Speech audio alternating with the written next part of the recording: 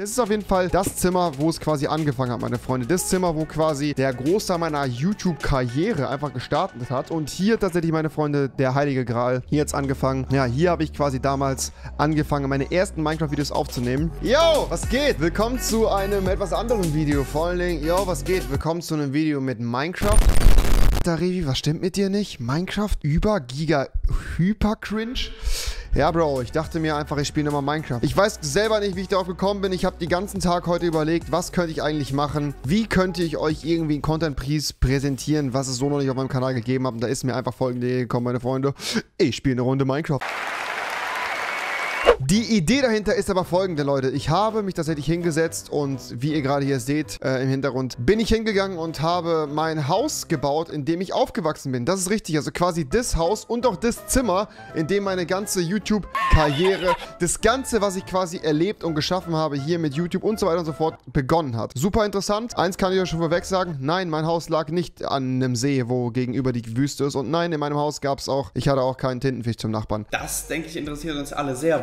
Würde sagen, meine Freunde, wir gehen mal ganz kurz hin. Ich kann euch natürlich jetzt hier kein echtes Bild von meinem Haus zeigen, aber ihr seht hier auf jeden Fall das Haus, in dem ich groß geworden bin. Und falls ihr euch jetzt fragt, ey, warum sieht denn das so seltsam aus und warum ist es von der Seite so? Ja, es ist halt eine Doppelhaushälfte, meine Freunde, und wie die andere Hälfte jetzt genau aussieht, die sieht nicht genauso aus, sondern natürlich anders. Das werde ich euch jetzt nicht zeigen, weil dann könnte ich auch direkt euch den Google Maps Pin von dem Haus meiner Eltern geben. Kleiner Joke. Ja, was soll ich sagen, Leute? Das ist quasi das Haus und oh mein Gott, ich habe wirklich einfach mal drauf losgebaut. Ihr seht es gerade im Hintergrund, ich habe mir keine Sachen abgesteckt, gar nichts. Ich habe einfach irgendwie meine Erinnerungen so ein bisschen floaten lassen und bin mit dem Endergebnis übertrieben zufrieden. Also wirklich, es sieht wirklich eins zu eins echt so aus. Gerade hier von der Seite. Ich hätte nicht gedacht, dass ich so hinbekomme und ihr seht auch schon, ja, es ist eingerichtet. Äh, ein Garten hat es natürlich auch, meine Freunde. Der sieht auch sehr, sehr stark aus. Aber ich würde sagen, bevor wir jetzt überhaupt hier zu viel zeigen, gehen wir nochmal ganz von vorne ran. Also, was wir hier erstmal haben, ist das Auto von meinem Dad. Was für ein Wagen das ist, das könnt ihr gerne mal in die Kommentare schreiben, meine Freunde, was ihr für ein Auto hinter vermutet.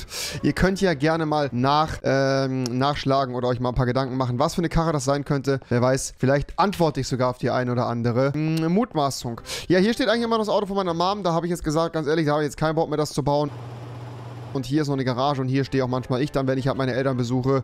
Hier geht es quasi in eine Garage rein, das können wir mal ganz kurz gucken. Relativ uninteressant. Eine ganz normale Garage. Ich, irgendwie haben wir nie in der Garage richtig geparkt, also waren da immer so Kartons und sowas und hier hingen so braune Lappen von der Wand. Ich weiß nicht, ich hatte keine Idee mehr, also habe ich da irgendwas hingehangen. Da hast du ein Regal, da sind so allerlei Sachen drin und eigentlich eine Sache, die jede Familie, glaube ich, in ihrem Haus hat, ist so ein Stapel Reifen, so Winterreifen, die sind dann hier so. Ja, so, das ist quasi die Garage. Sau interessant, oder? Abbruch.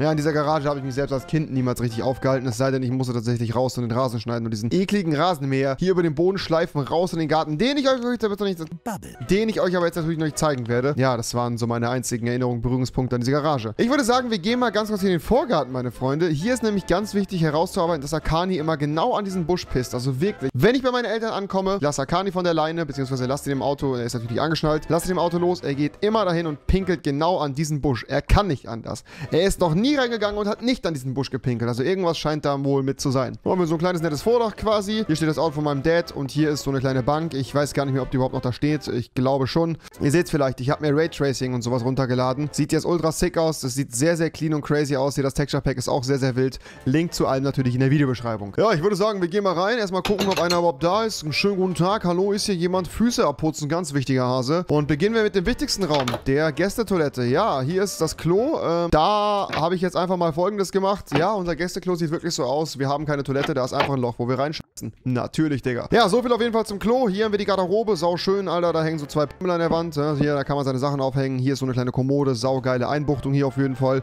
Gar nicht so verkehrt. Der Boden ist richtig schön gefliest, Alter. Übrigens, liebe Grüße an jeden Einbrecher, der bei meinen Eltern einbrechen will. Es gibt nichts zu holen. Und an der Stelle übrigens auch. Der Plan ist hier nicht eins zu eins korrekt. Also man wird sich tatsächlich noch trotzdem in dem Haus verlaufen. Ja, gehen wir mal in die Küche rein, Alter. So sieht die Küche quasi aus. Hier so ein kleiner Esstisch. Nur hier kann man ganz entspannt in der Küche morgens frühstücken. Immer gemacht, bevor ich zur Schule oder zur Ausbildung bin. Saß ich hier morgens, hab hier mein Müsli gegessen, Alter, wie so ein kleiner Bub. Da war ich noch artig und ähm, anständig.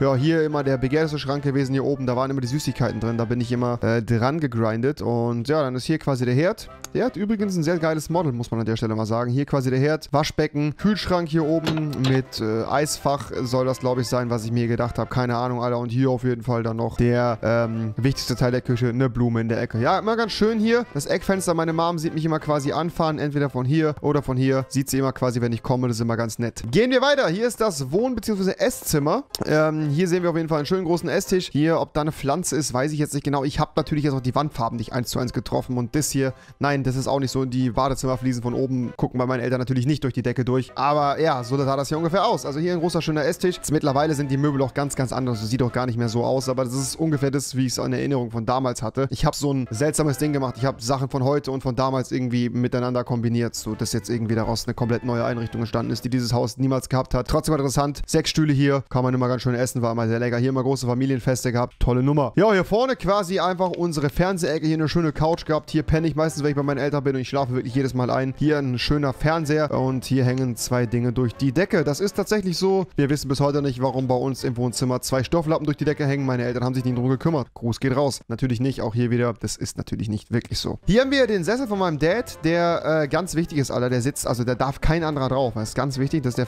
Vatersessel. Ja, da darf keiner drauf. Wenn ich mich da drauf setze, ah ja, ja, dann kriege ich Ärger. Ja, Fernseher, ein paar Lampen hier dahingestellt. Hier hängt eigentlich noch eine Uhr, die konnte ich jetzt nicht bauen. Dann stand hier ursprünglich, das steht noch ein Klavier. Das habe ich jetzt nicht gebaut, weil hier ist jetzt einfach ein fetter Schrank und ja, ihr seht, meine Eltern haben in Minecraft zumindest eine ziemlich minimalistische Einrichtung. Beziehungsweise was für meine Eltern. Also wir hatten früher, ne? So um den Dreh. Ja, zwei wunderschöne Fenster. Rollladen haben wir eigentlich auch. Die habe ich jetzt aber auch hier nicht hingebaut, weil, ach Digga, keine Ahnung. Da könnte man jetzt sicherlich noch hier, wenn man will, ein paar Vorhänge hinmachen. Ist ja auch ganz nett, aber brauchen tut man das ja nicht. Also die hängen dann hier halt irgendwie, keine Ahnung, so. Das ist auch schön, ja. Gehen wir mal in den Garten, meine Freunde. Und wieso ist es schon wieder am Regnen, Digga? Das kann doch nicht sein. Hier auf jeden Fall der Garten. Hier ist so eine Kiste. Ich weiß nicht, ob ihr das kennt. Irgendwie sind da die ganzen Polstermöbel drin von dem großen Tisch hier. Ist immer bei uns draußen liegt immer genau ein Apfel bei uns auf dem Gartentisch. Das ist ganz wichtig. Hier die wunderschöne Markise, bei der ich mir echt Mühe gegeben habe. Dann haben wir hier den Grill. Einen guten Weber-Grill ist es. Ja, da wird immer am, äh, im Sommer gegrillt. Auch vegetarisch mittlerweile. Papa hat's verstanden. Und ja, das ist so ein bisschen der Garten. Was haben wir denn hier? Wer ist das denn? Ah ja, Akani, dumme Hund. Was geht? Ja, so kennt man Akani. Einfach am Pennen. Der schläft hier auf jeden Fall. Der Garten ist gerade relativ neu gemacht. Also der Garten sah auch nie so aus. Diesen Zaun hier gibt's nicht und so. Aber ja, ich habe mir halt einfach gedacht, keine Ahnung, irgendwie so ein Mittelding musst du finden. Dieser Baum existiert tatsächlich. Das ist ein großer Ahornbaum bei meinen Eltern im Garten. Und hier steht eigentlich auch noch irgendwo ein Kirschbaum oder so. Aber Leute, also detailgetreu. Es ist schon ziemlich, ziemlich nah an der Realität auf jeden Fall. Dann haben wir hier noch so einen kleinen Brunnen, der eigentlich nie ein Brunnen war. Ist mehr so eine Zisterne irgendwie, glaube ich. Und hier jetzt dann irgendwie zwei Fische drin, die Trimax heißen. Sau interessant. Hier stehen die Mülltonnen. Hier ist nochmal geströpft. Und hier geht es dann quasi in die Garage. Die Tür machen wir mal zu, sonst kommen irgendwelche Nachbarn rein. Hier brutzelt gerade schon das nächste Nackensteak, Bruder. Ja, soviel zum Garten. Ich finde ihn ganz schön geworden, muss ich ganz ehrlich sagen. Ist auf jeden Fall von der Größe her echt sehr detailgetreu. Detailgetreu. Äh, getiteltreu, genau, ja, ganz genau. Ganz gut geworden. Ja, machen wir hier die Tür zu und wir gehen mal nach oben. Hier geht es jetzt noch runter in den Keller. Das habe ich aber jetzt an der Stelle einfach mal ausgelassen, weil ich dachte, das ist jetzt nicht so interessant. Wenn ihr wollt, dass ich den Keller noch baue, lasst gerne einen Daumen nach oben da. Aber das ist halt ein Keller, Alter. Was, was soll denn da schon großartig drin sein? Hier geht es jetzt hoch, die Wendeltreppe nach oben in die eine Etage, Alter. Da fangen wir mal an hier dem Badezimmer. Das ist das neue Badezimmer. Hier jetzt dann die Dusche, quasi hier eine richtig schöne große Badewanne. Äh, doppeltes Waschbecken, das habe ich jetzt nicht hinbekommen. Und hier das Toilette quasi. Kann man auf jeden Fall richtig gut kacken.